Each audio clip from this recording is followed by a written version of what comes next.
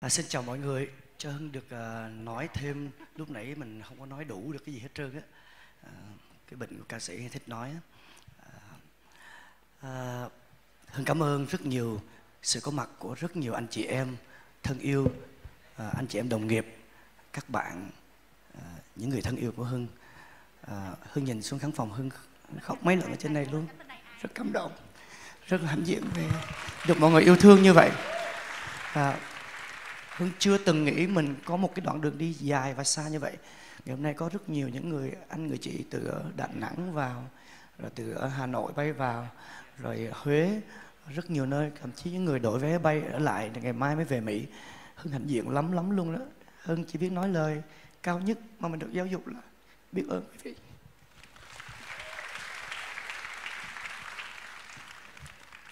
Và bây giờ thì chúng tôi xin được phép đến với phần uh, trao đổi, giao lưu với quý vị. À, thông thường cái phần à, Q&A này là cái phần mà tôi khoái nhất vì à, nó sẽ rất là thú vị.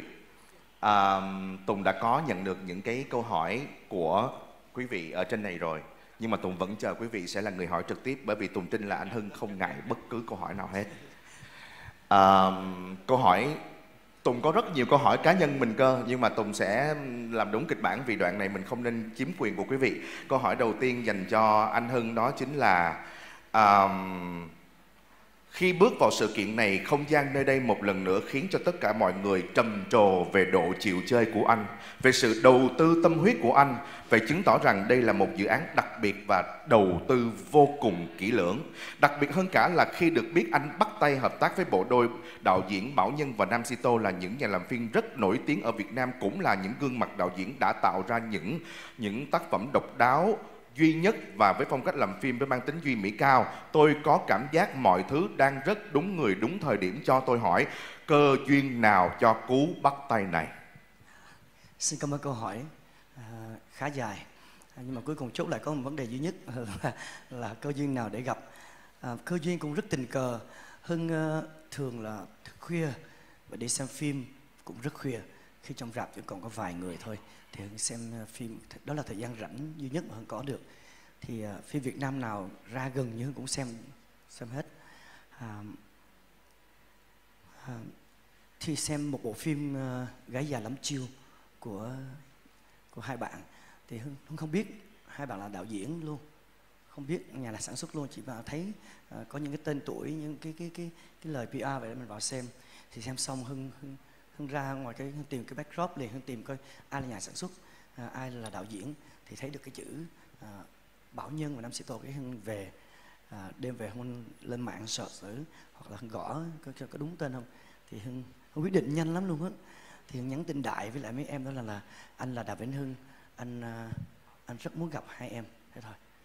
Mình cứ nghĩ là nhắn vu vơ thôi cuối cùng là là à, thường là phải có kết bạn kết bè thì mới mới tin nhắn mới tới được à, cuối cùng các bạn ấy đã trả lời đó là cái cơ duyên mà hưng đã ờ, gặp được hai bạn. À, cho cho em ngắt lời anh một tí nha.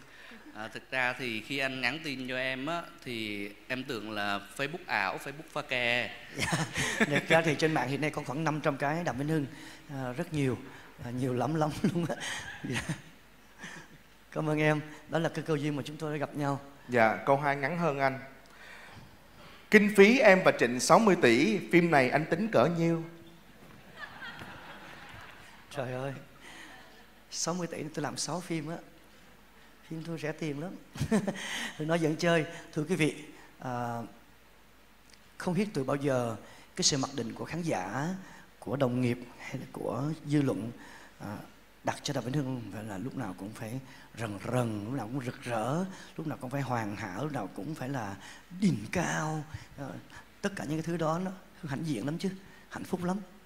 Nhưng mà nó vô tình nó thành một cái là siêu áp lực cho mình phải tự trèo qua tất cả những đỉnh núi đó, trèo qua tất cả những cái cái điều mà mọi người đã tin tưởng, đặt niềm tin lên mình để mình được gọi là ok đó, được đó. À, chỉ nhiêu đó thôi trong mắt mọi người. À, mình phải vật lộn với rất nhiều những cái khó khăn à, trong đó có cả à, tuổi tác. Đấy. cho nên là mà mình không hề đơn giản chút nào cả. Những cái khó khăn cái, cái từ khó khăn đó người ta nói nhiều và xài nhiều lắm. Hương chưa tìm ra được cái từ nào nó nó, nó nhiều ý nghĩa hơn cái từ khó khăn để nói ngay lúc này. Nên đành phải xài lại cái từ khó khăn. Là thật sự là khó khăn vô cùng khi mà đón nhận những cái lời khen ngợi những lời uh, uh, tin tưởng đặt cho hưng vậy. Và đối với hưng bất kỳ một cuộc chơi nào cũng vậy hết cũng đều có những cái cái sự trả giá sự công phu.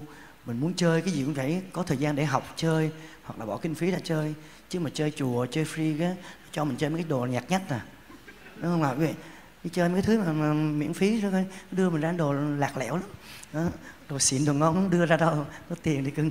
Đó cho nên là hưng chưa dám nói là nó sẽ là bao nhiêu? Thực sự giờ hưng ít bao giờ công bố về những con số lắm. Hiếm. Đó là các nhà báo tự tìm hoặc search trên mạng xem cái đôi giày ông mang thế nào là tự tìm chưa bao giờ hưng hưng nói. À, hưng chỉ biết rằng là cố gắng làm hết sức à, tất cả mọi thứ à, tốt nhất và và và để có thể tiếp tục nhận được sự hài lòng của mọi người. À, thậm chí cũng có những lời đe dọa với hưng là chuẩn bị bán nhà đi cưng.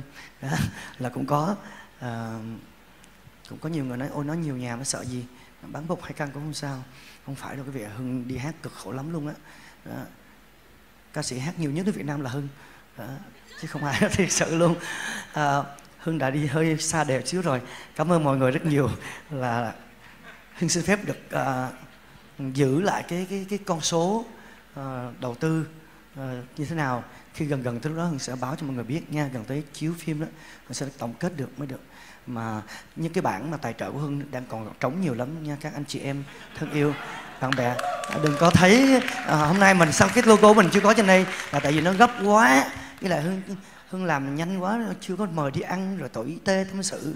Chưa có nằm bên cạnh rồi vỗ về để để xin tài trợ được. Cho nên là chưa có đưa logo lên được thôi, chứ còn cái bản vẫn còn xếp hàng.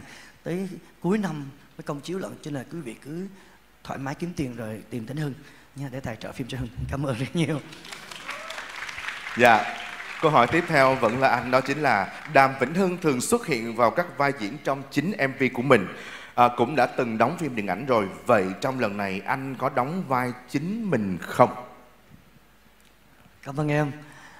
À, thật ra thì mv nó rất là dễ. Hả uyên thư hả? Dạ, dễ cho diễn viên lắm.